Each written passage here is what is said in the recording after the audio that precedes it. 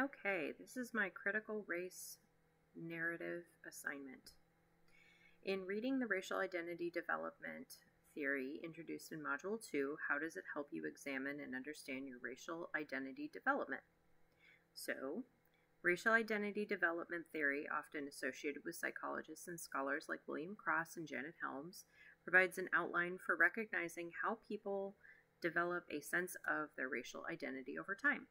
It can be valuable for examining and understanding your racial identity development. This theory typically outlines different stages individuals may go through in understanding and making sense of their racial identity. Familiarizing yourself with these stages can help you recognize where you are in your journey and what challenges and questions may arise at each stage.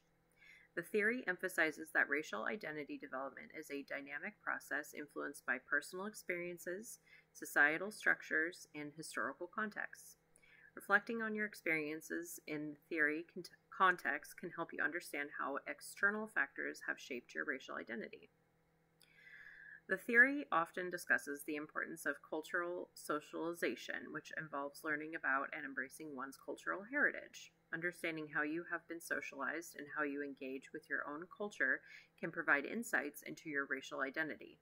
Racial identity development theory acknowledges the that individuals may encounter challenges, conflicts, and moments of realization as they navigate their racial identity.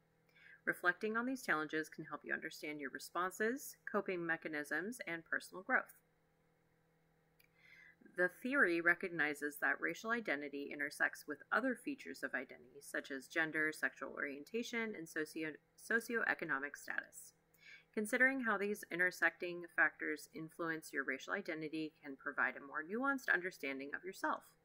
This theory promotes cultural competence, encouraging individuals to engage with others across racial and cultural differences. Examining your development in this context can help you become more aware of your biases, prejudices, and areas for growth in understanding and respecting diversity. The theory also encourages active exploration of one's racial identity. Engaging in self reflection, seeking information about your cultural heritage, and having open conversations about race can contribute to a deeper understanding of your identity. What informed your racial identity development?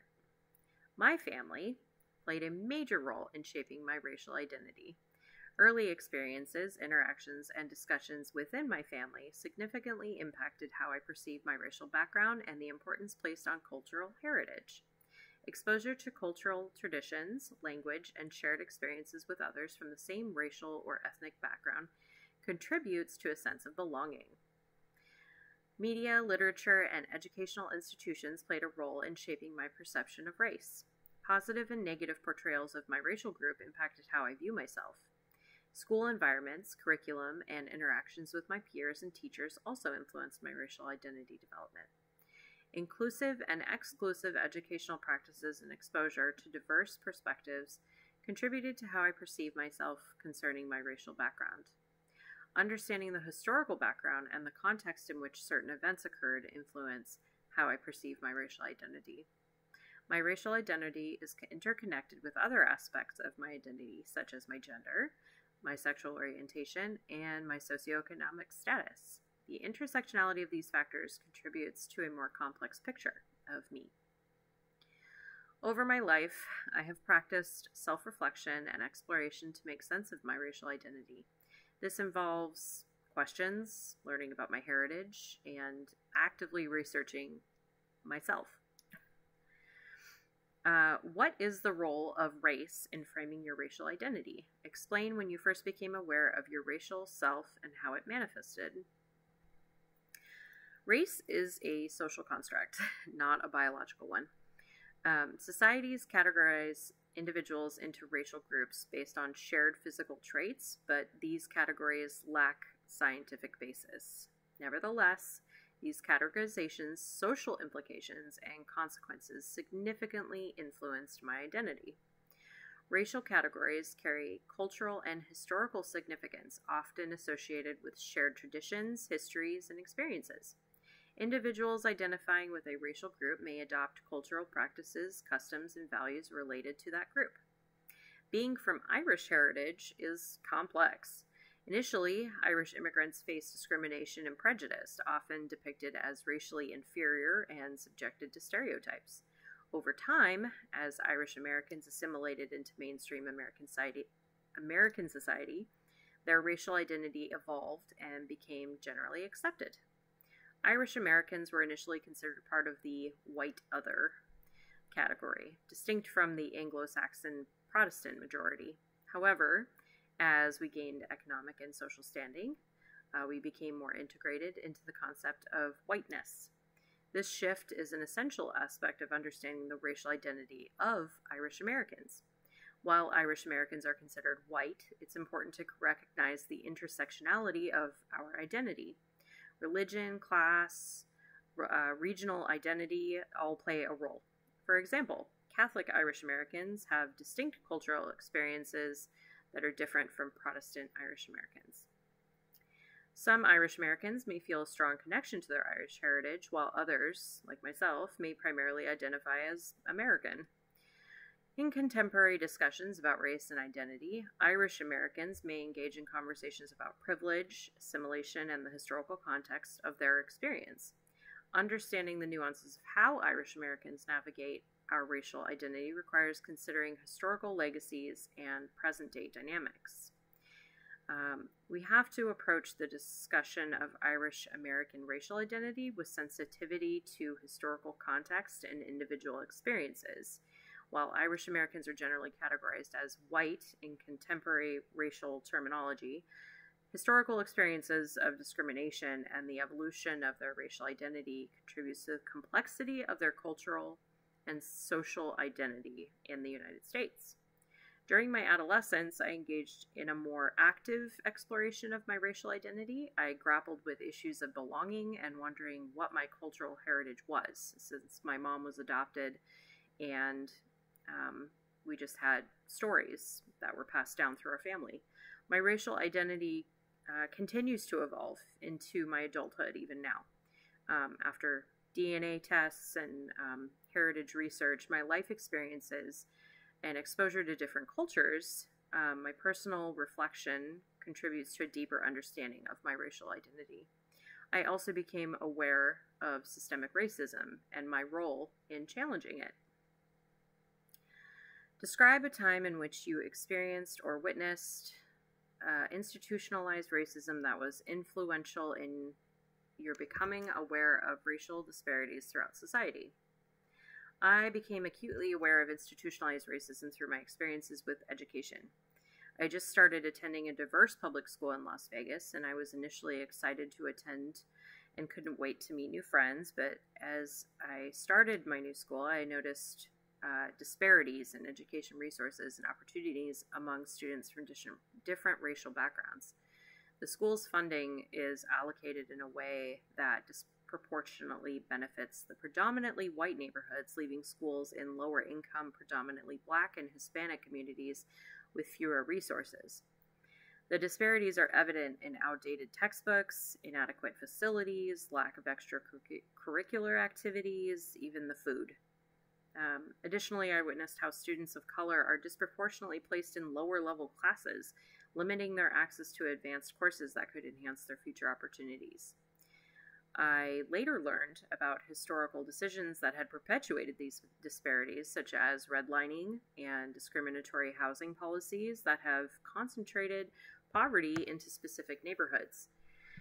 As I got older, I became more attuned to these issues and witnessed how institutionalized racism extends beyond the school system. I noticed disparities in healthcare access, job opportunities, law enforcement practices, all disproportionately affecting communities of color. The cumul- cumulative impact of these experiences prompted me to confront my own biases and recognize the pervasive influence of institutionalized racism.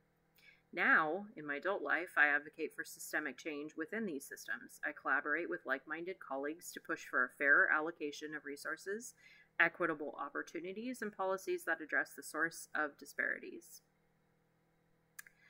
Identify which of Erikson's psychosocial stages of development you were in when you experienced the event you described. How did the events occurring in that developmental stage influence your perception of the event?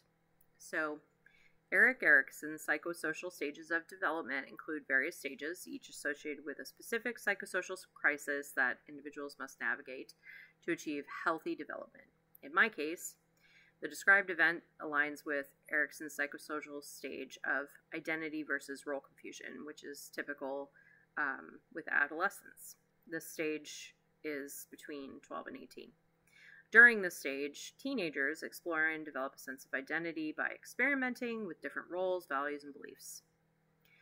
Uh, the psychosocial crisis is characterized by the tension between forming a stable identity and experiencing confusion about one's societal role. Uh, friendships uh, play a crucial role during adolescence, and even within these relationships, um, they, that can influence how teenagers perceive themselves. Um, positive experiences like supportive friendships can contribute to a more positive self perception, and um, in contrast, negative experiences such as rejection or conflict can lead to identity, identity confusion. As I became an adult, my experiences aligned more with Erikson's stage of uh, generativity versus stagnation. Um, and uh, the events during this developmental stage influenced my perception by triggering a sense of generativity, social responsibility, and purpose. This stage encourages uh, con- contributing meaning- meaningfully to society, and my response to the institutionalized racism, racism I witnessed reflected my commitment to making positive impact within the system. Applying CRT describe one action you can take to challenge power structures that perpetuate racial inequality. Um, if you shared a personal experience with institutional racism, thinking back on the situation, would you respond differently now? So, applying critical race theory, CRT, um, I can take various actions to challenge power structures that perpetuate racial inequality. Um, and one fundamental tenet of CRT is the recognition of systemic racism and the need to address it at both individual and institutional levels. I can advocate for more equitable resource allocations within schools and the broader education system. This involves challenging policies and practices that contribute to disparities in funding, educational opportunities, and support for students from marginalized communities. Sharing knowledge can foster a deeper understanding of the root causes of racial inequality in education. I can also engage in open and constructive dialogues with school administrators. By presenting evidence of disparities and proposing alternative, more equitable policies, I can work toward influencing decision makers to prioritize resource allocation that benefits all students. I extend my advocacy beyond the schools by engaging with the local community. Building partnerships with community organizations, parents, and activists amplify efforts to address racial education inequalities and garner broader support. Drawing on CRT's emphasis on intersectionality, my approach considers the intersection of race with other factors such as socioeconomic status, language, and immigration status. This results in more comprehensive solutions that address the complex webs of web of inequalities.